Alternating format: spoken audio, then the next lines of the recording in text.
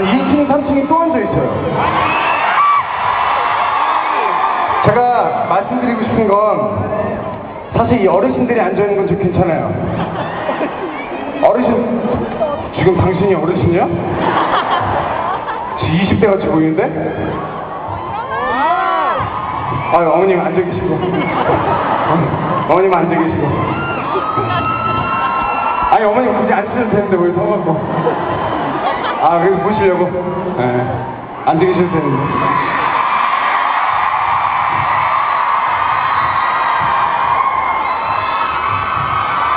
아니 어머님 왜 앉아 계세요? 괜히 또 관절 또. 네. 자 여러분. 저 혼자 노래를 하면 재미없다고 제가 분명히 얘기했죠.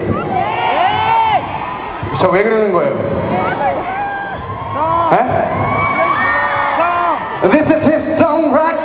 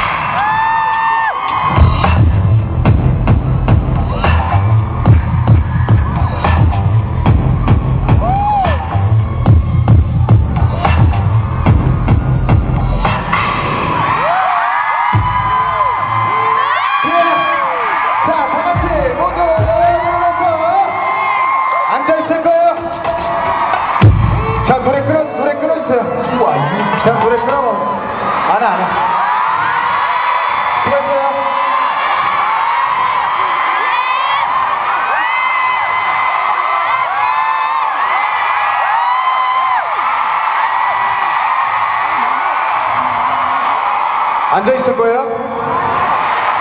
여기 관객 불좀 켜봐 주세요. 저 팔로